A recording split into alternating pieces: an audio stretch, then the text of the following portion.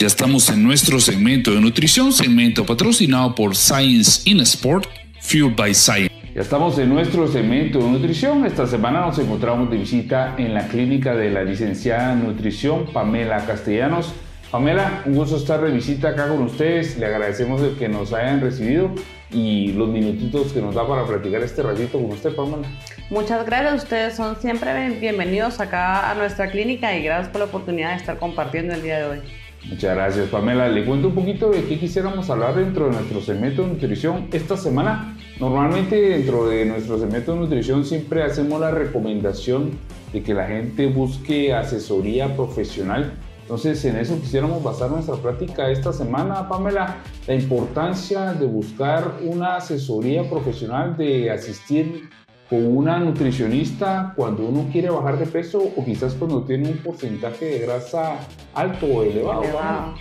Ok, primero todos deberíamos aprender que el patrón de consumo de alimento de cada persona es diferente, no solo porque cada persona es individual, sino porque es diferente en los alimentos eh, que conllevan para la edad joven, para la edad adulta eh, o en la edad infantil. Entonces, sí se recomienda que cualquier tipo de paciente, tanto hombre como mujer, como niño o en cualquiera de las etapas eh, que esté viviendo, asista a un nutricionista porque no todos necesitamos los mismos requerimientos al día. Entonces, es importante para que nos digan qué comer o cómo comerlo o en el orden que lo debemos comer o en la cantidad que debemos comer para que nuestro cuerpo pueda nutrirse y tener la energía que debemos tener día a día. Primero que todo. Segundo, hay personas que porque son delgadas o porque hacen un poco de ejercicio creen que ya todo está bien y 100 puntos, todo. Pero realmente sí es buena la asesoría de una persona porque no siempre los blogs o los comentarios de nuestros amigos eh, son adecuados porque no tienen el estudio pertinente. Es importante que asistan eh, porque a la hora que ellos quieran desempeñar un deporte o una actividad diaria, hay personas que no tienen como la energía o se sienten cansadas y eso es porque la base de nuestro día debería de ser tener una buena alimentación para que nuestros, nuestro cuerpo tenga los insumos para desempeñarse durante el día. Súper, sí, importante lo que usted menciona, Pamela, de que eh, esto es muy personal, ¿verdad? Porque por ahí este, usted también nos lo, lo, mencionaba, ¿verdad? Muchas veces buscamos este, información en redes sociales o quizás alguien nos recomienda que sigamos eh, cierta dieta y realmente pues este, esto es muy personal dependiendo de la edad, la actividad física, etcétera, etcétera, ¿verdad? Entonces estos temas son bien personales, ¿verdad? Sí, son muy puntuales. Digamos, hay familias de que ponen un menú y lo mismo es para los chiquitos, lo mismo es para los grandes y está bien, pero debería ser porciones para los pequeños, porciones para los papás, porciones para los hijos intermedio en edad adolescente, por poner un ejemplo. Debemos saber cuánto debemos estar consumiendo cada uno. Buenísimo. Hablemos acerca de esta persona que se acerca a buscar este tipo de asesoría profesional. ¿En qué consiste esa primera cita, Pamela, con la nutricionista? Eh, ¿Qué es lo que se examina, la evaluación? Ok, Normalmente una cita nutricional normal, ustedes llenan eh, un afiche, eh, un perfil médico de quién es usted, lo que hace, eh, si padece algún padecimiento o mm, qué necesita, porque primero tiene que saber el objetivo de cada paciente, ¿verdad? Luego, la mayoría de citas nutricionales inician con un peso, con una talla, con mediciones corporales, ya sea con un caliper eh, o con un metro. Sabiendo estos datos, uno ya crea un parámetro de qué le puede brindar al paciente. Eh, en nuestra clínica, primero llenamos el perfil de cada paciente, luego realizamos pruebas bioquímicas, que esto es azúcar en sangre, colesterol, triglicéridos, toma de presión, si amerita el caso ácido úrico o hemoglobina glicosilada que es el historial de tres meses para atrás, si es que el paciente ha tenido una hiperglicemia o si presenta diabetes. Y en base a los datos de peso, talla, eh, mediciones eh, de porcentaje de grasa y los datos bioquímicos ya se realiza el plan nutricional para cada persona. No todas las personas saben si han presentado picos de glucosa o si presentan algún lípido alto, ya sea colesterol o triglicéridos, porque obviamente uno no manifiesta eh, hasta que el nivel es muy muy alto. Entonces es bueno siempre en las primeras evaluaciones realizar eh, laboratorios bioquímicos para saber cómo está cada paciente. Y si no está tan alto o está al límite, siempre es bueno checar una vez al mes o cada dos meses para ver cómo va disminuyendo el nivel bioquímico eh, del laboratorio que esté elevado, porque tiene que ir mejorando en su dieta y a la vez mejorando o nivelando todos los datos bioquímicos.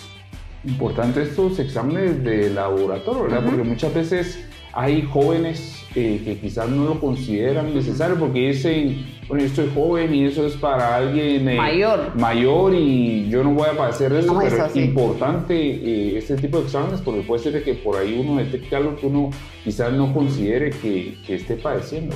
Claro, primero genéticamente todos estamos predispuestos a que mi mamá es diabética, que mi papá es hipertenso y yo por ser joven no lo he padecido y estoy bien, pero si genéticamente estoy predispuesta y mi alimentación no es adecuada, no es saludable o soy sedentaria, automáticamente se empieza a activar a nivel genético mi predisposición a que yo sea diabética, a que yo sea hipertensa, a que yo presente algún lípido alto. Entonces, no importa la edad que tengamos, es importante siempre realizar evaluaciones nutricionales, evaluaciones de porcentaje de grasa, porque entre mayor es el porcentaje de grasa, mayor es el riesgo de padecer más de algún efecto nocivo en nuestra salud. Entonces, no importa la edad que tengamos, siempre chequeo nutricional, chequeo médico, chequeo bioquímico, porque no solo es cómo nos vemos ni cómo nos sentimos, sino que también cómo nuestro cuerpo está manejando la bioquímica celular.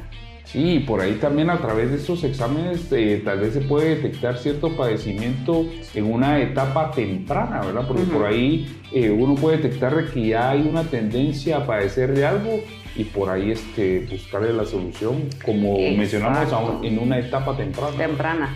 No es lo mismo que usted ya lo eh, diagnostiquen, por poner un ejemplo, con presión alta y que usted es hipertenso. Aquí tiene picos de presión porque su estado nutricional no es el adecuado. Si tenemos picos de presión, usted baja de peso, baja porcentaje de grasa, eh, automáticamente su, su, presión se regula y como usted es joven, automáticamente todos los engranajes de nuestro metabolismo casan y empiezan a trabajar de mejor manera. Ah, que si nos esperamos 20 años porque estoy bien, porque estoy joven, ya siendo un paciente hipertenso, pues únicamente con eh, medicamento, ¿verdad? Así Súper. Importante también eh, cuando uno ya tomó la decisión de asistir eh, donde un nutricionista y que ya se dio esa primera, esa primera cita, el ser constante y recurrente y continuar con el acompañamiento, ¿verdad? Porque muchas veces vamos una vez, nos sacan todos estos datos y ahí lo dejamos o quizás eh, no le damos seguimiento. La constancia es la clave del éxito, primero que todo. Cuando nosotros nos da un diagnóstico, ya sea bueno, ya sea malo, tenemos que ser constantes y lo más importante, tratar de acoplar al tratamiento el resto de nuestra vida. Porque de nada me sirve decirle, mire, tengo el colesterol alto, perfecto, lo bajo con medicamento o con una alimentación saludable y después vuelvo a recaer en mis hábitos antiguos. Como le digo, la clave es la constancia y el éxito para todo, para estudiar, eh, para ser saludable. Hay momentos donde uno baja la guardia para Navidad, que para mi cumpleaños XY, pero lo importante es nunca bajarse de la bicicleta y seguir, seguir, seguir, seguir por amor a uno mismo porque hay cosas que nadie los va a poder hacer por nosotros. Son decisiones que debemos de tomar propias, ¿verdad? Correcto. Y son cambios que debemos de pensar de que son permanentes, permanentes, ¿verdad? Porque muchas veces pensamos, esto es temporal, solo en lo que bajo de peso y luego pues eh, continúo mi vida como la venía llevando, ¿verdad? Sino que pensar que estos cambios van a ser permanentes, ¿verdad? Y lo importante, saber que uno tiene que tener un estilo de vida que sea sostenible. Si yo quiero tener una dieta o un patrón de consumo de alimentos bajo en carbohidratos, sé que yo, Pamela, lo voy a poder mantener. Si yo quiero eh, un consumo de carbohidratos eh, nulo, sé que lo tengo que mantener porque luego si vuelvo a comer normal, retomo otra vez mis hábitos antiguos y voy a estar igual que antes. Entonces, el éxito de todo es ser constante y también uno ser consciente y claro de lo que va a poder mantener a largo plazo. El punto de esto es mantenerlo no solo un par de meses, sino que como usted dice, el resto de nuestra vida y estar consciente que vamos a estar cómodos con lo que nosotros queremos hacer y estamos haciendo porque es por y para nosotros.